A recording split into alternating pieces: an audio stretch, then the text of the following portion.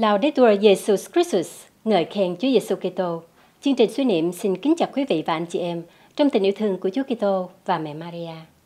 Trong chương trình này như ý xin trình bày với quý vị và anh chị em câu chuyện đội trưởng cứu hỏa New York trong vụ khủng bố 11 tháng 9 trở thành linh mục. Tại sao? Đó là một câu chuyện đã khiến nhiều người Mỹ rơi lệ. Những hình ảnh quý vị và anh chị em đang xem thấy đây là các cuộc tưởng niệm diễn ra tại Hoa Kỳ hôm thứ Tư 11 tháng 9 vừa qua.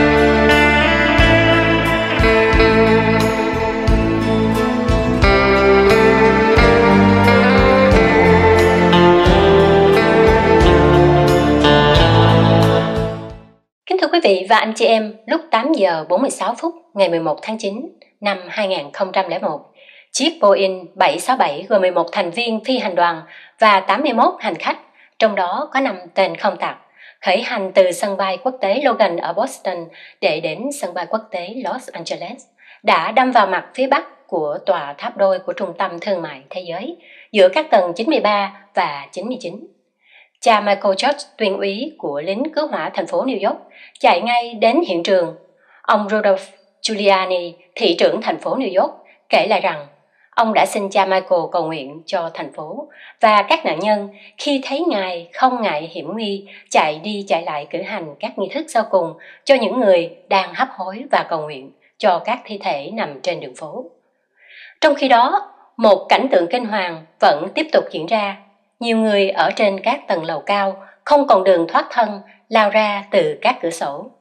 Trong khi cảnh tượng kinh hoàng vẫn đang tiếp diễn, lúc 9 giờ 3 phút, một chiếc Boeing 767 khác của hãng hàng không United Airlines chở 9 thành viên phi hành đoàn và 56 hành khách, trong đó có 5 tên không tặc, khởi hành từ sân bay quốc tế Logan ở Boston để bay đến sân bay quốc tế Los Angeles, lại đâm vào mặt phía nam của tháp phía nam của Trung tâm Thương mại Thế giới giữa các tầng 77 và 85.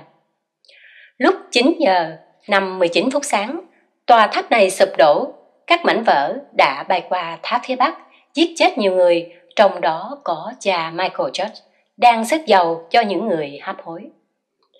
Chứng kiến cái chết của cha Michael và các đồng đội của mình, đội trưởng lính cứu hỏa của Sở Cứu hỏa thành phố New York Tom Colucci đã suy nghĩ rất nhiều và cuối cùng quyết định trở thành một linh mục công giáo. Xin kính mời quý vị và anh chị em nghe chính cha Tom Colucci giải thích về bước ngoặt này trong đời mình qua lời dịch của Như Ý. Cha Tom Colucci kể lại như sau. Vào ngày 11 tháng 9 năm 2001, mặt trời chiếu sáng rực rỡ trên bầu trời trong xanh của thành phố New York. Tôi cảm thấy nhẹ nhàng sau một ca trực tại sở cứu hỏa và đang trên đường trở về nhà, nghỉ ngơi, thì tôi được nghe về các cuộc tấn công khủng khiếp. Cảnh sát và lính cứu hỏa được gọi đến hiện trường. Tôi quay xe ngược trở lại thành phố và trình diện ở sở cứu hỏa. Chúng tôi lấy các thiết bị và hối hả lao xuống xa lộ Westside để đến hiện trường lúc ấy Tom là một đội trưởng lính cứu hỏa của sở cứu hỏa thành phố New York Cha Tom Colucci kể tiếp.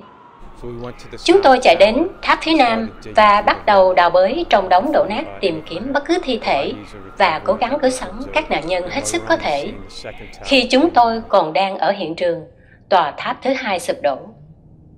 Tom bàng hoàng chứng kiến tận mắt các đồng đội của mình hy sinh như thế nào, cùng với vị tuyên úy của họ là cha Michael Church Chiếc xe cứu hỏa Letter 3 của chi khu cứu hỏa phía đông Manhattan bị những khối đá khổng lồ đè đổ xuống. Tôi đã từng đi trên chiếc xe cứu hỏa ấy một vài lần khi tôi còn phục vụ ở bên Manhattan. Tôi biết rất rõ từng người lính cứu hỏa bị giết trong ngày đó. Chúa ở đâu trong ngày đó? Tôi cho rằng hình ảnh ấn tượng nhất tôi có thể nghĩ đến là cách nhiều người phản ứng trước cảnh tượng này. Có các lính cứu hỏa, cảnh sát, các nhân viên cấp cứu, bác sĩ, y tá và đông đảo người chạy đến cứu giúp tại hiện trường.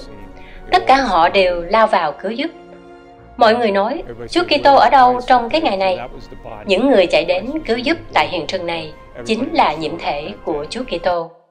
Chúa Kitô hiện diện nơi tất cả những người này, tất cả những người chạy đến trong ngày đó. Chúa ở cùng chúng ta trong đau khổ và nỗi buồn sầu của chúng ta.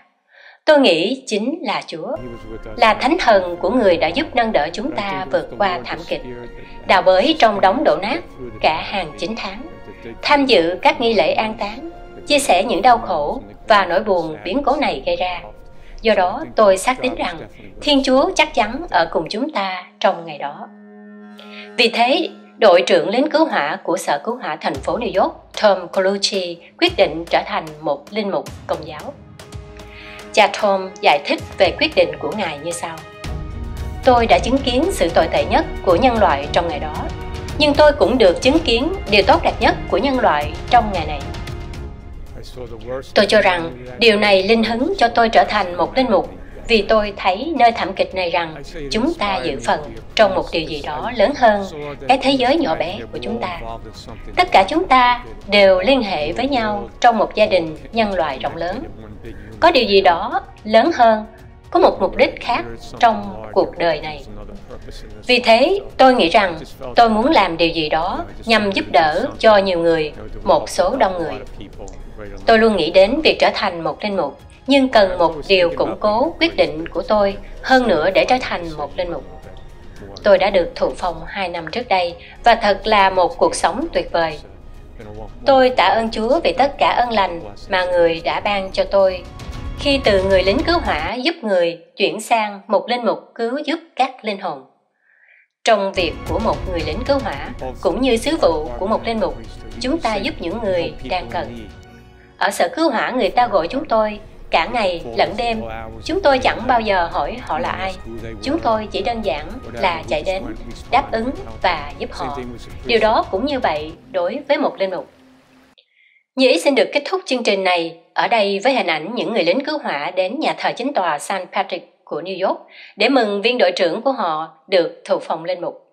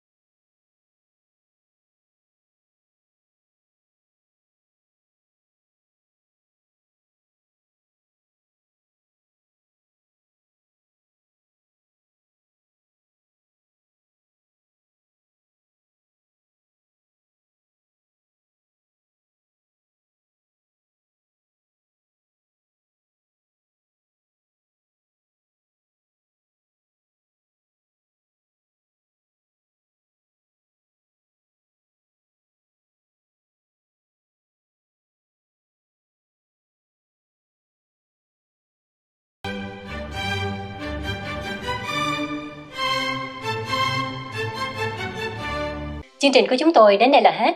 Xin quý vị và anh chị em giúp phổ biến rộng rãi chương trình này đến với gia đình, thân quyến và bạn bè xa gần như một cách thức để truyền giáo. Mọi kiến đóng góp xin gửi về địa chỉ vaticantv at gmail.com.